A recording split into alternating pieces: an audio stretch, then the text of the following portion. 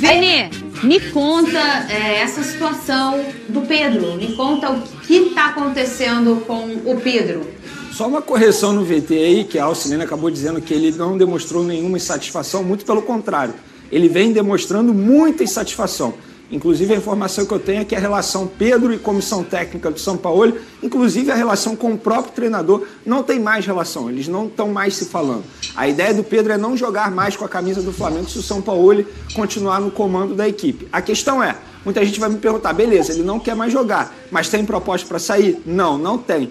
Inclusive, informação nossa, drone nosso, é que o Pedro ele foi retirado da lista de relacionados pela diretoria do Flamengo para pegar o Olímpia nessa quinta-feira e também recebeu uma multa pelo ato de disciplina é, no último sábado, quando ele se recusou a aquecer durante a partida, quando Pablo Fernandes, então preparador físico, pediu para ele continuar o trabalho de aquecimento e ele se recusou.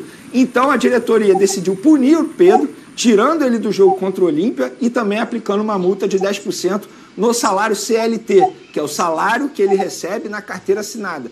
Porque jogador, como muita gente não sabe, jogador recebe uma parte no salário CLT e uma parte direito de imagem. E os 10% da multa é em cima do salário CLT.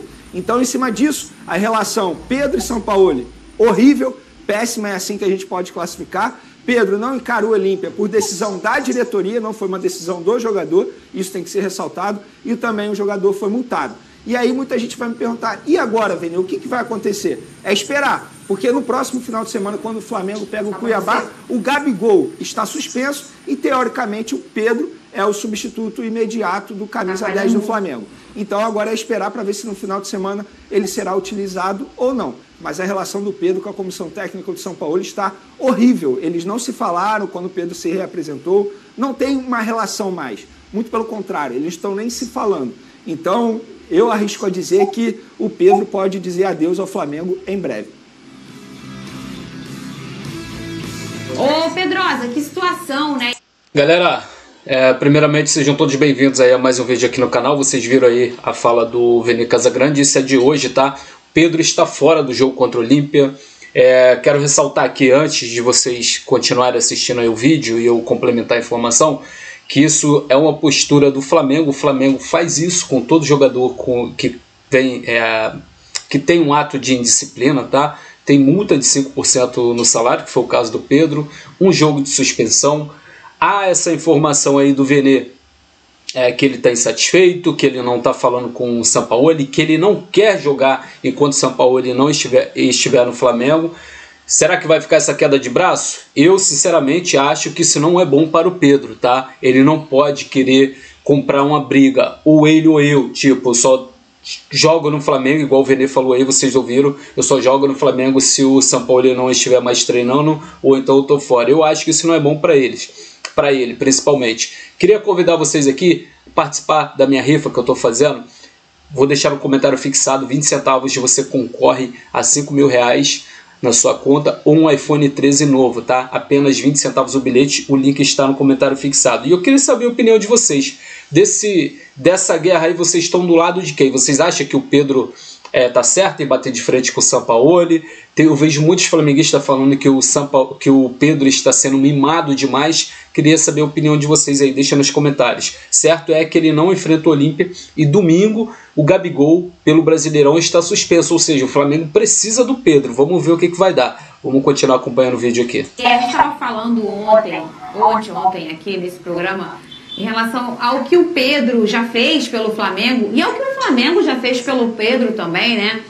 Foi é, sempre uma relação é, muito respeitosa de ambas as partes e uma relação em que o Pedro sempre mostrou que queria jogar com a camisa do Flamengo. Sim. Quando o Brasil todo perguntava: Poxa, Pedro, você tem futebol em ano de Copa do Mundo? Para ser titular em vários times no Brasil, você escolhe ser banco do Gabigol. E aí, por uma questão do destino, o Dorival chega e consegue encaixar ali com o Gabigol. Mas até então, ele era banco no ano de Copa. E ele estava sendo banco e ok. Então, assim, havia esse questionamento total para as pessoas em relação ao Pedro. E a gente via que o que ele queria mesmo era estar ali no Flamengo. E, assim, terminar desse jeito, não sei se terminou já, mas se ele não quer continuar com o Sampaoli, alguém vai ter que sair. E eu não sei quem que ganha esse cabo de guerra. Primeiro, Pedrosa, quem você acha que ganha, né? Se já há esse posicionamento em relação ao Pedro e ao Sampaoli. E segundo, que pena ser desse jeito, né?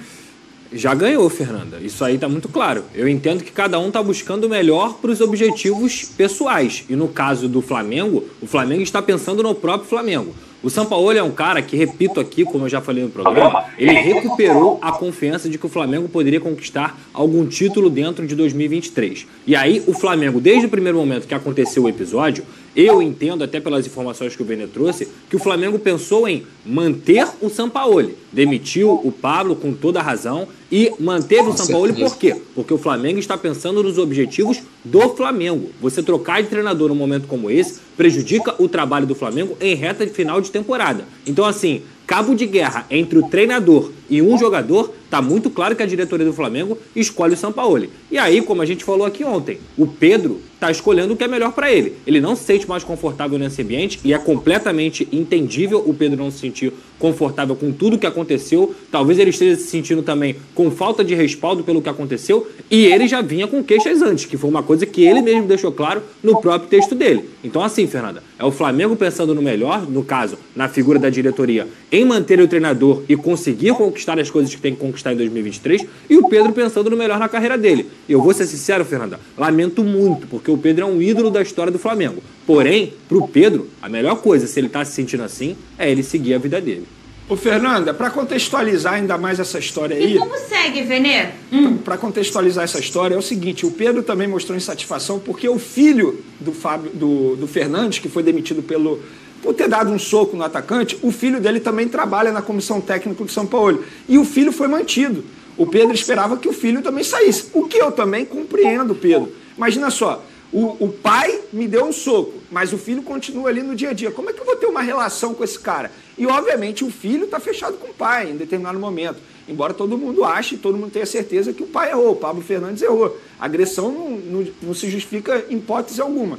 Mas a relação, como é que o Pedro vai ter relação com esses profissionais? Não tem mais relação. E outro ponto também, os jogadores do Flamengo esperavam que o Pedro fosse pedir desculpa ao elenco pelo ato de disciplina, algo que também não aconteceu. O Pedro também não reuniu os companheiros para pedir desculpa pelo ato de disciplina, algo que já aconteceu no passado recente. Quando era o Jorge Jesus, isso acontecia bastante nos bastidores. Gabigol, eventualmente, tinha um problema ali, mas aí o Gabigol ia lá, reunia todo mundo e pedia desculpa. Estou dando um exemplo porque isso aconteceu com o Jorge Jesus. Agora, com Pedro, isso não aconteceu. Então, assim, em suma, um resumo da ópera, relação Pedro, comissão técnica e São Paulo, não existe mais. Como é que você vai manter no dia a dia um jogador que não conversa com a comissão técnica. É muito difícil isso. Eu acho que esse ponto do filho, do pai, Pedrosa, ele, ele... Seguinte, é complicada essa situação. É, eu acho, como eu falei, na minha opinião, isso não é bom, não é benéfico para o Pedro, né? Mas a gente, enfim, será que o Pedro vai sair do Flamengo? A janela de transferência não vai ajudar ele nesse caso, né? Eu acho que o melhor que ele tem a fazer agora é focar no Flamengo, trabalhar, mesmo que ele esteja um pouco desconfortável ali por causa da situação do filho do cara que agrediu ele ainda continua. Eu acho, na minha opinião, seria melhor para ele continuar, porque o Flamengo acima de tudo. Queria saber a opinião de vocês, deixa aqui nos comentários. Não esqueça de deixar seu like antes de sair do vídeo, se inscrever no canal, ativar a notificação participar da minha rifa, o link está lá na, na, no comentário fixado, tá? 20 centavos você concorre a 5 mil reais ou um iPhone novo. Valeu? Tamo junto, te vejo no próximo vídeo. Agora eu fui saudações rubro-negras, salve Flamengo sempre. Tamo junto, nação.